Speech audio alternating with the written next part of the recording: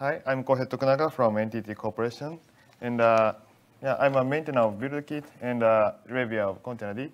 And uh, today I'm going to talk about BuildG, uh, an interactive debugger for Dockerfile. So first, let's get through the summary of this talk. Um, BuildG is an interactive debugger for Dockerfile. And uh, it provides interactive prompt for debugging Dockerfile with breakpoint. And it also supports running a container on an arbitrary instruction and deeply inspecting it. And uh, BuildG also uh, integrated to IDEs like uh, VS Code, NeoVim, and Emacs. And uh, IDE's GUI-based debugging feature can be used for debugging Dockerfile. And this integration is achieved on DAP, which is Debug Adapter Protocol supported by these IDEs. So first of all, uh, debugging Dockerfile is hard. Um, it's even more true if you write a large and complex Docker file. And uh, it's almost impossible to write a correct Docker file without cycles of uh, debugging and fixing. And uh, for inspecting the internal state of Dockerfile, yeah, you might modify it and uh, insert like a run ls, uh, run cat. But modifying Docker file sometimes can um, cause cache miss, and uh, it requires running the Docker file again. And uh, this costs extra time. And uh, so the lack of tooling in Dockerfile it, and also makes uh, debugging harder. Um, interactive tools even shell um, cannot run can, cannot use on Docker file, and debugging tools um, might be unavailable on lightweight images like BusyBox or Scratch. And uh, these issues uh, sometimes make uh, like a debugging a five-minute problem take hours.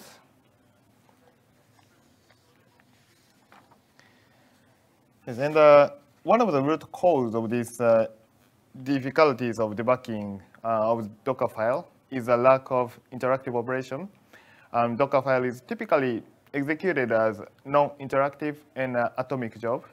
And uh, tools like Docker build uh, parses the Docker file and schedules or instructions, and then uh, they are executed all at once uh, without providing interactive operations for inspecting the Docker file.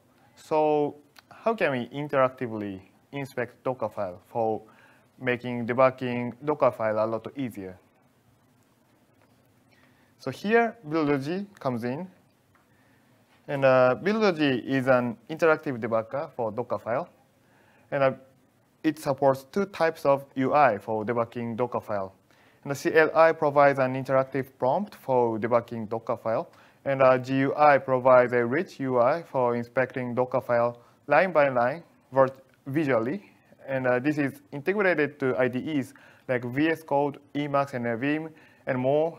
So you can use your favorite IDE for debugging Docker file. And it supports rootless execution. Uh, BuildG is implemented based on, based on BuildKit and leverages its features like uh, faster build by aggressive cache usage. So uh, first, let me introduce the CLI of BuildG. And it provides an interactive debugger prompt. And this provides commands used for debugging. Um, they include uh, ones for controlling execution and inspecting Docker file instructions, etc. And uh, this figure uh, shows an example of uh, usage of the prompt. Um, BuildG debug command starts a build, build uh, debugger prompt. And uh, you can debug this Docker file using commands like uh, break and continue. And uh, from the next slide, I will introduce some debugging commands uh, provided by BuildG. A breakpoint uh, allows us to stop or break the build at a specific line of Dockerfile. Um, on the stop to instruction, we can request further commands for deeply inspect the uh, build's internal state. Uh, this command example shows that uh, we set a breakpoint at line 5 of Dockerfile and then resumes the build. And the build will run until it reaches to line 5. And as shown in the example, BuildG shows the Docker file contents with marking the line where we stop. Uh, in this case, line 5 is marked. And uh, you can step by line, uh, line by line using a next command. In this example, uh, when your build breaks at line 2, uh, you can use next command. Uh, then the build resumes and runs until line 3. And uh, sometimes you want to launch a shell um, on an instruction to inspect the root file system in the e execution environment. Here you can use exec command. Um, this allows you to launch a shell uh, or other processes, um, including shell on an arbitrary instruction. And in this example, we launch a shell on an instruction, uh, then it installs Figlet on the root file system, then run it. And uh, of course, instead of running Figlet, and you can do an arbitrary, arbitrary operation like uh, running ls command, uh, cat command, or debuggers, etc.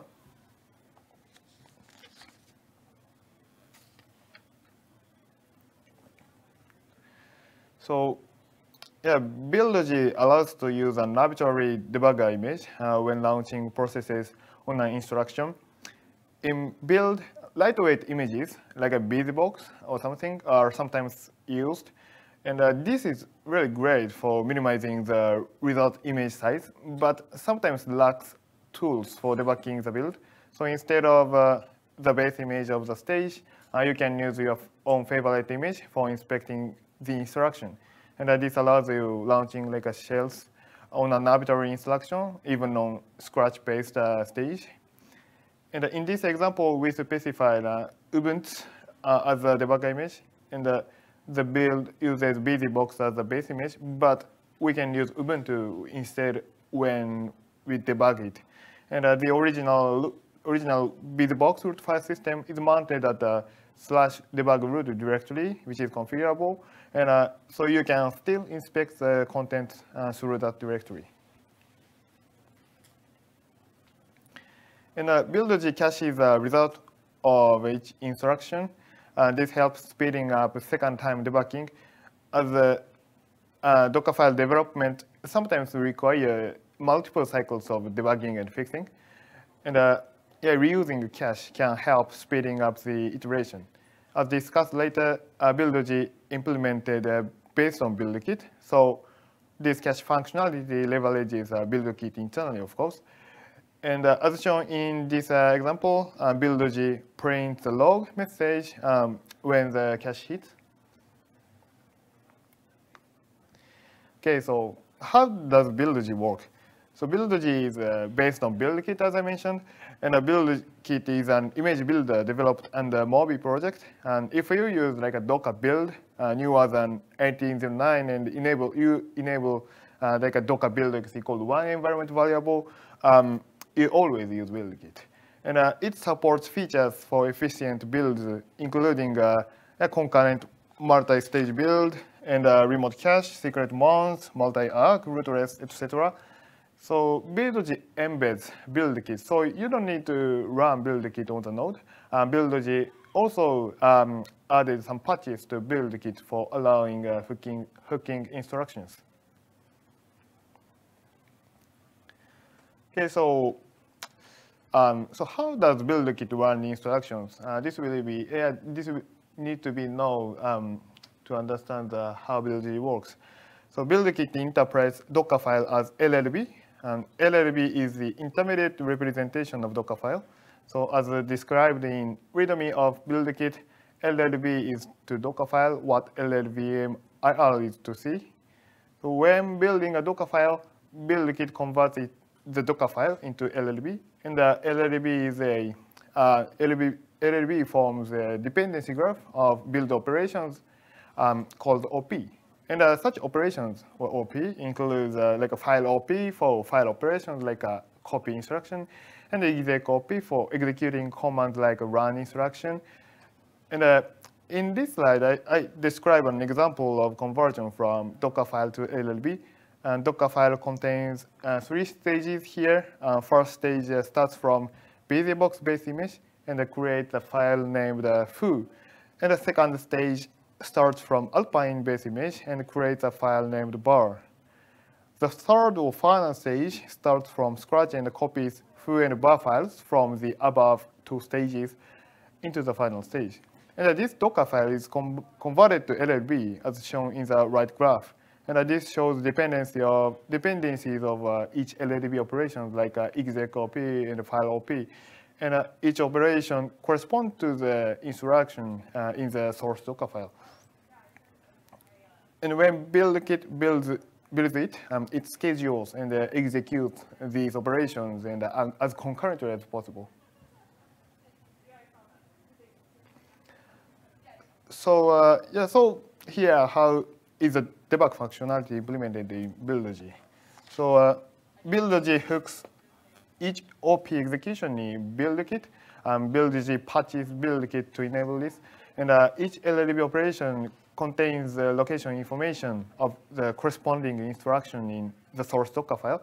So BuildG can use this information uh, for mapping each operation into the source Docker file. So when a user uh, requests a debug operation on a line in Dockerfile, uh, BuildG converts it to the uh, LLB level operation uh, using the location mapping information. Now, when you launch a shell on a Dockerfile instruction, BuildG launches a container which reproduces, reproduces uh, the execution environment and root file system.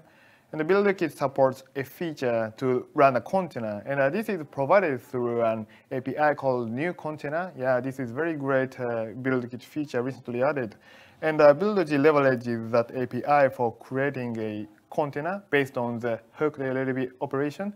Um, BuildG passes the result fi root file system of the hooked LLB operation into the new container API. And uh, at the same time, BuildG gets uh, that OP's execution environment information from LLB and uh, passes it to the yeah, new container API as well. And yeah, BuildG supports root rootless execution. Uh, so non-root user can run BuildG. And uh, in terms of a BuildKit, it supports rootless using a RootlessKit. Um, so we can run BuildKit in a new user namespace created and configured by RootlessKit and inside that namespace, uh, rootless BuildKit can run containers uh, for running the build. And BuildG takes the same approach with, uh, with a transparent UX. Um, when BuildG run by a non-root user, it automatically runs RootlessKit and runs BuildG itself in a new user namespace created by RootlessKit.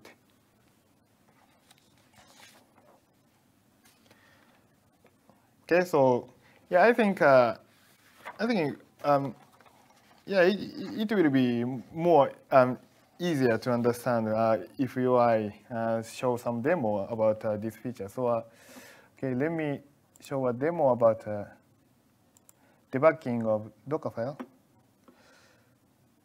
Okay, so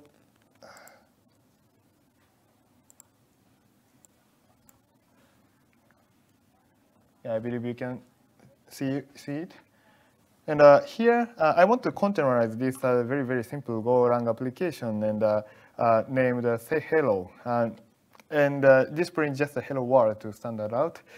And I saved this file as a sayhello.go and, and I wrote a Docker file. And this Docker file is also simple to build the application create a runnable containerized application.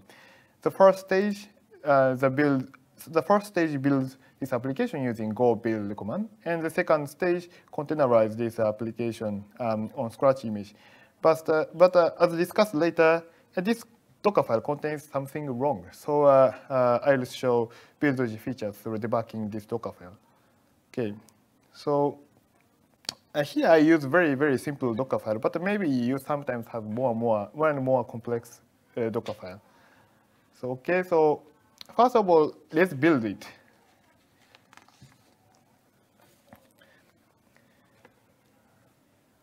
Okay, so yeah, build itself succeeded, okay. So uh, here I want to run it. Uh, something like hello world should be printed here, but um, it fails. Why? And uh, um, yeah, the error message says that uh, there is no, say, hello binary, no such file or directory. Hmm, what's happening? So let's debug it using buildg. So you can yeah launch the debug session using buildg debug command. Uh, this is very uh, yeah easy to use. And uh, okay, the build starts and uh, build proceeds until yeah okay. The output says that uh, the build is now stops at line two. So you can show the source Docker file using a list command. Um, and uh, according to the output of list, the go build, go build happens at line four as highlighted here. So, okay, let's deeply inspect this step first and uh, uh, check if the go binary is correctly created. And uh, here we can use break command and uh, um, to set a breakpoint, and I use you can use the continue command to continue the build. Okay, um, here, uh, uh, yeah, as you can see here, we use the break and the continue. So um, we are at line four. So let's check if this stage has a say hello binary. And uh, you can launch a shell on the root file system on this stage using exec command, as shown in this uh, this command. And uh, you can, and uh, yeah, here according to the list command, the, um, the, the final stage of build um, copies a um, say hello binary from slash out directory of the first stage. So here we need to create a binary um, at the slash out directory. So first let's inspect this uh, slash out directory. Okay, but slash out directory there is nothing, so it looks something wrong happening. So where is the say hello binary? So here uh, we have the view, full view of the root file system. So we can directly find that file on the root file system using find. So here um, we ignore slash proc directory, uh, which we are not interested in here. So okay, we find the say hello binary at slash go. Mm, this is the default working directory of Golang image. Uh, the, binary was created here because uh, we didn't specify the output destination output destination to the go build command actually. So let's see. Um, yeah, there is no output destination is specified in this Docker file. So, uh, so what we need to fix is uh, yeah, specifying the binary destination in this Docker file, um, like this. Okay, so uh, okay, we fixed the Docker file. So uh, go back to the terminal and uh, uh, reload this Docker file again and inspect the final stage. Okay, uh, here reload command reloads the change the changed Docker file, so you can ensure that change is effective.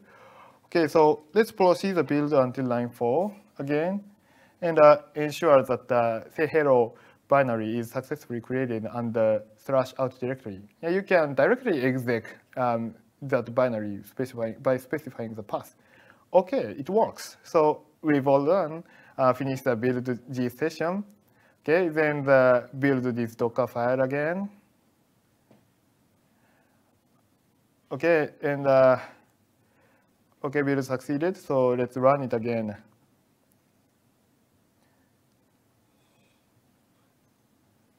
Okay, so yeah, here um, finally uh, we can successfully create uh, uh, successfully debug this Docker file, and uh, yeah, it now works successfully.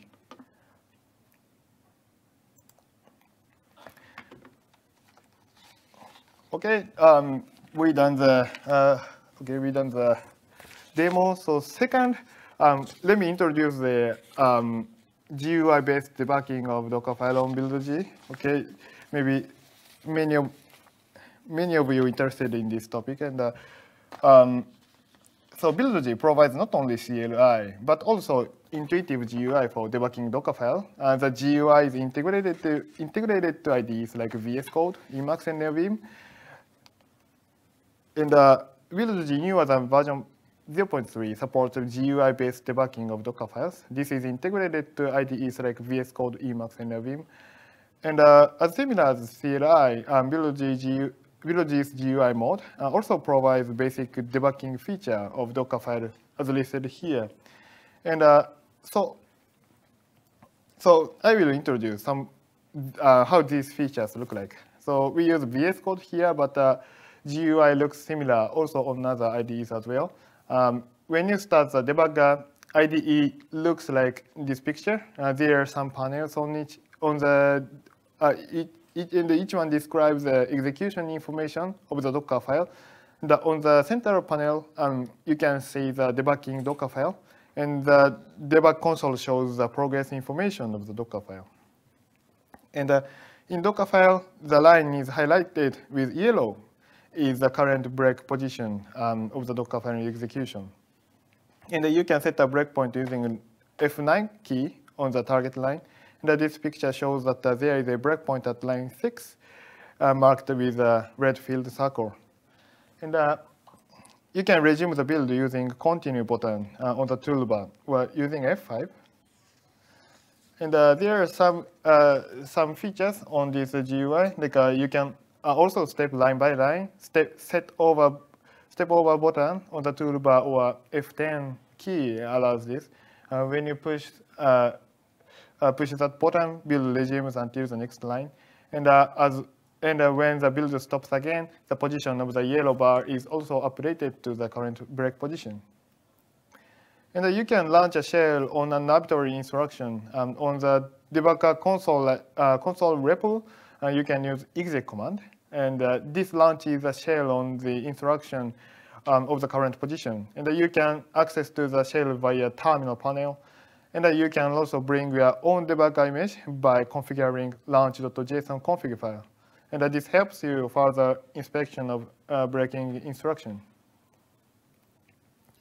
So how the integration is implemented on uh, BuildG? Um, first of all, this integration is achieved uh, leveraging debug adapter protocol, or DAP, uh, supported by um, IDEs. And uh, DAP is a standard protocol between um, IDE and the debugger. And this is proposed by Microsoft. And this API allows an arbitrary debugger to integrate to IDE's GUI. And IDEs, including VS Code, Emacs, and Vim, um, provide a rich GUI for debugging programs and uh, um, use DAP to control the to control the corresponding debugger. And so from debugger's perspective, um, the debugger can integrate to the variety of IDEs by just implementing that protocol based on its debugger feature. And a well-known debuggers um, leverages DAP um, to integrate with IDEs like uh, Python, Node.js, and C Sharp. And uh, BuildG implements a DAP uh, for integrating with IDEs so users can um, debug Docker file using the rich GUI provided by IDEs. So currently, BuildG is known to work on VS Code, Emacs, and Vim, but uh, it should work on other IDEs that support DAP. And uh, as shown in the figure, BuildG talks with IDEs via DAP, and uh, BuildG translates DAP operations into BuildG debug operations. So note that you need to, you, you still need to install BuildG on your host um, to use this feature. So on VS Code, VS Code Build BuildG extension um, allows debugging Docker file. Uh, please refer to the VS Code Build BuildG repo for more details about the configuration. And uh, on Emacs, uh, DAP mode can be used to debug Docker file.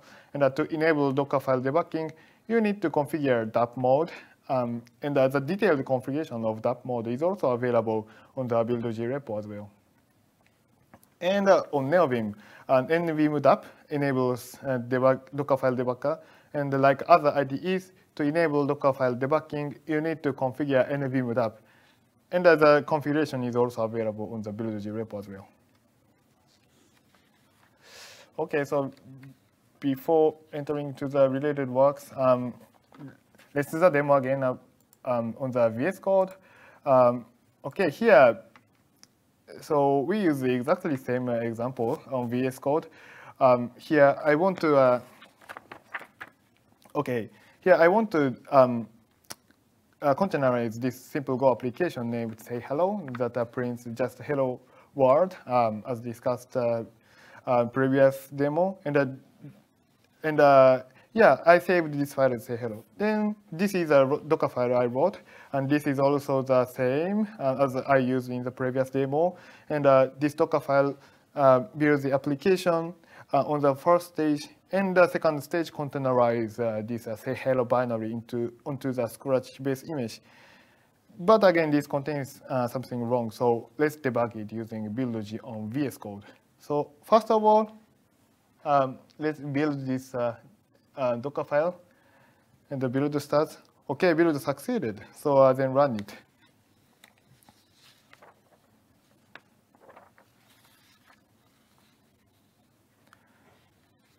Okay, um, build succeeded, but run, run, failed again, and the error message says that uh, there is no say hello binary again. This is exactly the same, okay? And uh, so what's happening? And let's debug it using buildg. And uh, on Docker file, uh, type F5 um, to launch the debugger. Okay, debugger started here. And uh, okay, yellow bar shows that we are at line two. And uh, the Go, the Go build happens at line 4, uh, as I highlighted here. So let's deeply inspect this step and check if the Go binary is correctly created. Then you can set a breakpoint just by clicking the panel, and uh, um, the continue button starts the build. Okay, so we are at line 4. Um, and uh, let's check if the stage has say hello binary. And uh, you can launch a shell on the root file system of this stage using exec command in REPL, okay, uh, as shown in the uh, debug console. And uh, then the shell uh, will launch at, okay, the shell, okay, launched on the terminal. Then again, you can source the say hello binary using uh, find uh, on the shell. But uh, before doing that, let's check the there is nothing in the slash out directory. yeah, there is nothing. So we need say hello binary here, but uh, there is nothing. So uh, let's search say hello binary on this root file system using find command again. Okay, so uh, um, yeah, um, we found say hello binary at uh, slash slash go. So this is a default working directory of the Golang image. So uh, yeah, the the root cause of this uh, bug in this Docker file is uh, we didn't specify the output destination of Go build. So what we need to fix here is, yeah, like that, we need we need dash o option uh, to this Go build. Okay, so um, back to the debug console, then restart this uh, debug again. Okay, restart button can easily restart this uh, build. And, uh, and uh, yeah, inspect line 4 again.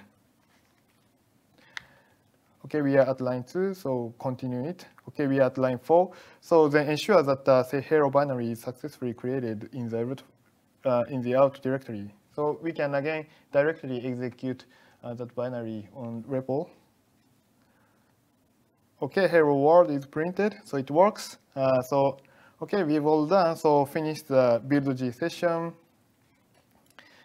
Then okay, ensure that uh, everything is fixed. Uh, so disconnect the debugger, and uh, on terminal, yeah, um, as usual, we can uh, build this Docker file and run it again.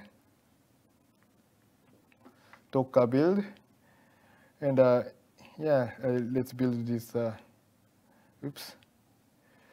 Um, yeah, build this context again. Okay, build succeeded, and I run it again. okay, it works, and everything has been fixed. So, uh, okay, so uh, yeah, so there are some works in community and to support interactive debugging of Docker file as well. So I will introduce some related works here. And uh, okay, um, NerdCTL is Docker compatible CLI of Containerd, and uh, this is developed as a sub-project of Containerd. And uh, NerdCTL supports buildg, buildg based interactive debugger uh, since uh, version 0.20, and you can use it via NerdCTL builder debug some command. And as shown in the code example, uh, this launches a debugger prompt for the specified Dockerfile context. Then it enables interactive debugging, uh, same as buildg. The Docker BuildX is a Docker CLI plugin for BuildKit. And uh, since version 0.9 provides a monitor mode, um, as shown in the slide, uh, monitor mode allows uh, launching processes like shell on the build result. So this allows you inspecting the build result quickly. And uh, we are still working in progress towards uh, support for the complete debugger with breakpoints. So please try it, and uh, uh, any kinds of feedbacks are very, very welcome.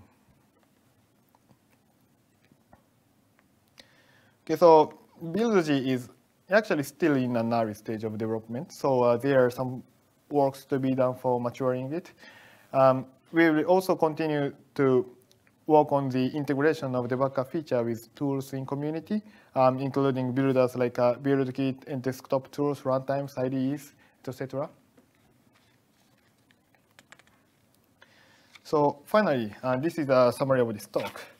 Um, buildg is an interactive debugger of Dockerfile, and it provides interactive prompt for debugging Dockerfile with a breakpoint. And it also supports uh, running a container on an arbitrary instruction and uh, deeply inspecting it. And the buildg is also integrated to IDEs like VS Code, NeoVim, and Emacs. So IDE's GUI-based uh, debugging feature can be used for debugging uh, Dockerfile. Um, this integration is achieved on DAP, uh, debug, debug adapter protocol supported by these IDEs. So yeah, I'm pleased to and uh, any kinds of feedbacks are very, very welcome. Thanks.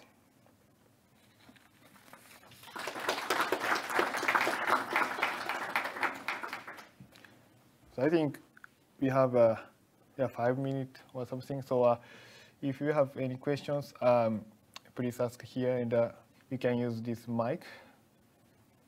Any, any questions? Yes, please.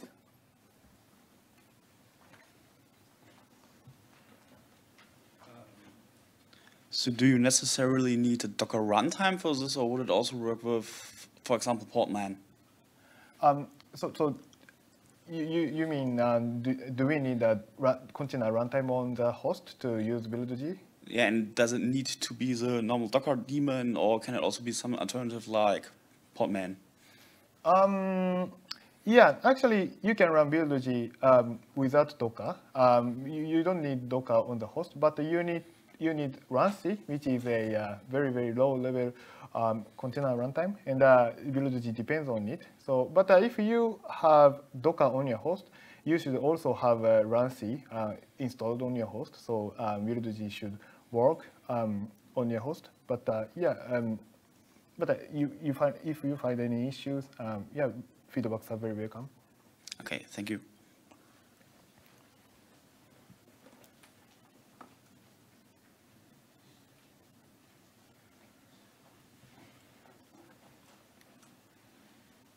So anything else? We have a virtual question. Okay. Um, can I use buildg with Podman in rootless mode? Context in some cases, Docker with a daemon is disabled, especially in corporate environments when security is tight. Um, so, okay, so the question is, uh, um, yeah, can we use can we use buildg on the rootless, uh, on the host um, with uh, rootless Podman? Okay. Yeah, and actually, um, doesn't depends on the um, container, uh, like a container engine, like a Podman or Docker. So, so um, you don't need a, a, Docker or Podman installed on your host, but instead uh, you need runC. And uh, if you um, care about the rootless, um, yeah, buildg supports a rootless mode um, based on the RootlessKit. So uh, yeah, if you are not allowed um, root privilege on your host, um, you can also run it uh, in a rootless mode as shown in this slide.